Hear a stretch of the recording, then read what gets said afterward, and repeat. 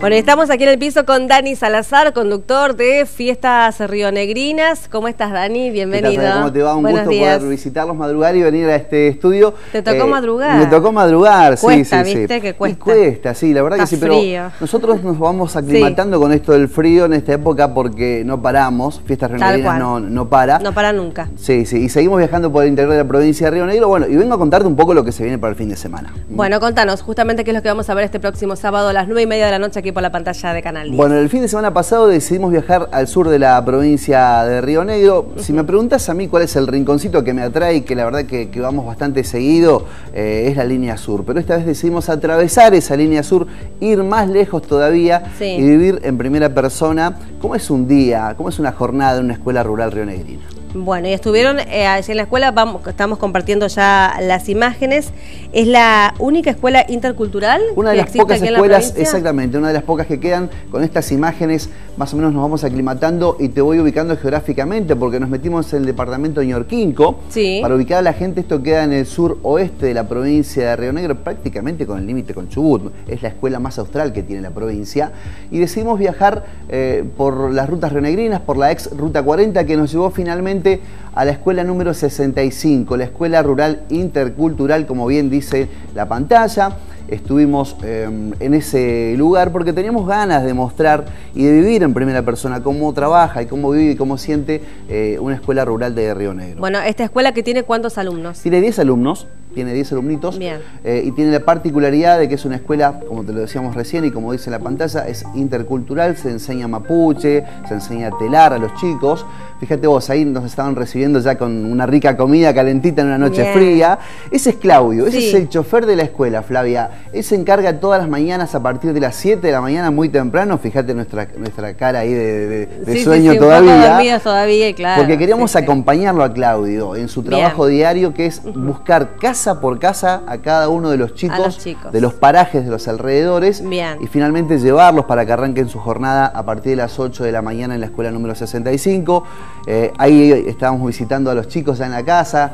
Eh, chochos, esperando ahí ya que llegue Claudio con su camioneta. Bueno, ¿y esto qué, hora era más o menos? Esto era alrededor de las 7 y media, 8 de la mañana. 7 y media. Ahí el horario de... Izando la bandera. la bandera, ya los chicos, las dos banderas, la de la comunidad y también la bandera de la República Argentina. Este, con sus cánticos también. ¿Cuántos eh, docentes? Simbolismo, ¿no? Sí, eh, ¿tiene la escuela? El, director, que es Daniel, que hace a la vez de docente también. Sí. Eh, tienen un maestro más y después tienen dos, uno que enseña artesanías y el otro que enseña lengua mapuche.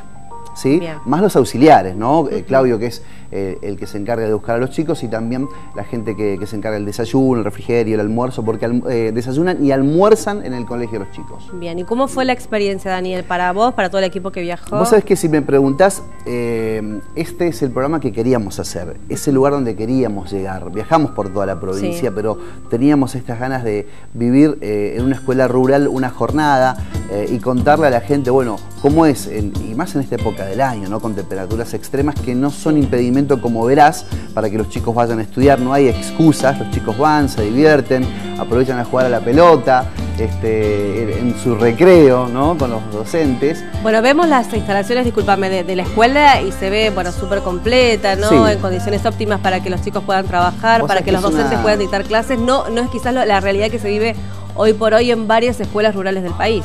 Sí, es una escuela que está bastante, bastante equipada. Bien, eh, ahí que me hace pie para contarte que es una escuela que tiene 100 años, no es una escuela que nació así como la estás viendo ahora. Es una escuela que las pasó, que arrancó de una manera muy precaria, muy humilde, pero luchó mucho por permanecer porque sus alumnos siguen yendo a clase y hoy en día tiene este edificio que costó por los que nos contaba Daniel, mucho trabajo este, y muchas, este, muchas cuestiones que tienen que ver con solicitudes al gobierno que los viene acompañando. Y sí, eh, los chicos pueden disfrutar de hoy de estas instalaciones donde están bastante cómodos, más allá del frío y todo eso, y pueden arrancar cada jornada a las 8 hasta las 3 de la tarde que están en ese... Y seguimos hablando, bueno, de la experiencia que vivieron eh, ustedes allí en esta escuela, la escuela más austral que tienen. Bueno, y uno de los viajes más largos también que hacemos, ¿no? Eh, alrededor de entre unas 10 y 11 horas aproximadamente salimos de día, llegamos de noche. Bueno, ahora con esta época del año también que oscurece más temprano. Pero bueno, ya nos está esperando la gente de, la escuela número 65. Así que este sábado no se lo pierdan. Es un programa para ver en familia, lo recomiendo. ¿eh? El sábado a la noche, 9 y media la noche, es un horario ideal, armamos la picada, la cena con los chicos y donde también podemos disfrutar y mm, eh, conocer ¿no? un paraje, una escuela rural eh, y saber, eh, y, a mí particularmente me dejó como un mensaje bastante fuerte porque bueno, uno llega a su casa después, ¿no? Y ves que tenés todo a mano, tus comodidades, estás calentito, tenés una heladera este, con, con, comida para poder comer lo que quieras, estás muy cerca de cualquier cosa, bueno, te deja ese mensaje de valorar lo que tenés, ¿no? Y de que los chicos que a veces con tan poco em, viven su día, arrancan muy temprano, van contentos al colegio, no hay excusas para faltar ni siquiera el frío y son felices. Y son felices, la, pasan bien a, pesar de, tener eh, sin lugar a dudas muchas necesidades. ¿Qué es lo que te traes? Y, pudiste, bueno, me imagino hablar con los chicos. ¿Qué es lo que ellos te contaban? De los chicos, de los docentes, este, hasta pudimos eh, mostrar un poquito a los, a los papás, eh, dejando en manos de, de Claudio, el chofer de la escuela, a sus hijos para poder ir a, clases. Eh, y bueno, ellos contentos, ¿no? Son 10 alumnos, son muy chiquititos, arrancan a partir de los 5 o 6 años en adelante este, y, disfrutan sin duda de, aprender. Y vuelvo a repetir esto, esta escuela tiene la particularidad, es una de las pocas que todavía mantiene esa tradición de no perder las costumbres y de trabajar con las cuestiones de la comunidad mapuche, de la lengua. Eh, de las artesanías. Los chicos aprenden a hacer una artesanía en telar mapuche. Eh, fíjate vos que sin ir más lejos, dentro de dos semanas eh, se va a efectuar la nueva edición de la fiesta nacional de la Matre y las Artesanías, donde en Bacheta mismo se trabaja mucho con los chicos para que continúen con estas tradiciones.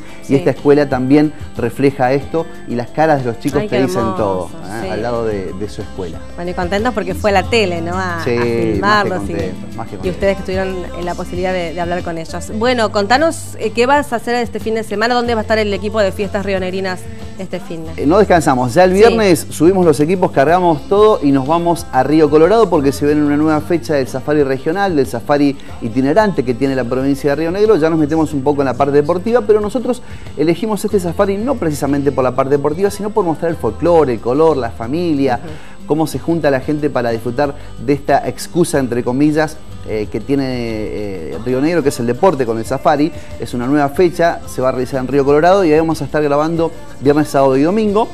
Y ya en la semana también este, armando ese programa y ya viajando el próximo viernes porque 17, 18, 19, 20 de junio, cuatro días con la Fiesta Nacional de la Matre y las Artesanías en Balcheta, Ahí estamos. Bueno, Río Negro, Canal 10 siempre presente, ¿no? En las fiestas. Río Negrinas. Bueno, eh, gracias Daniel, que tengas un lindo ¿eh? fin de. No te pierdas el sábado. No, por supuesto, ¿eh? nueve y media de la noche. Este, Vamos a estar con, con, las niñas allí, con toda la familia mirando Canal 10, por supuesto.